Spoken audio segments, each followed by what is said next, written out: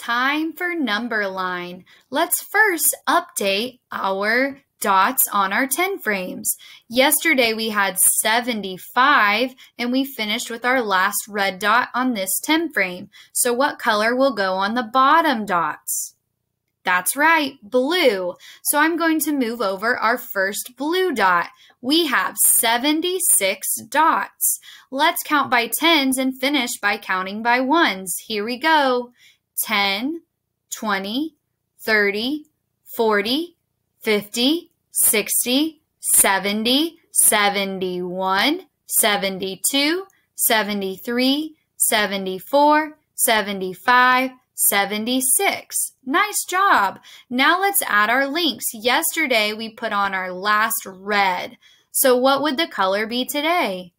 Way to go, friends. That is right. It would be a blue link. So now we have 76 links. Looking at the bottom of our screen, let's update our number line. Yesterday was day 75, so today would be day 76. Let's think about the digits that go into 76. The first one is 7. So I'm going to write the number 7.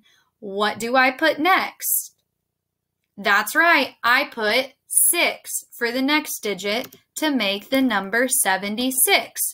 Turn to a grown up or someone you're with and say, I'm 76 days smarter. Nice job, friends.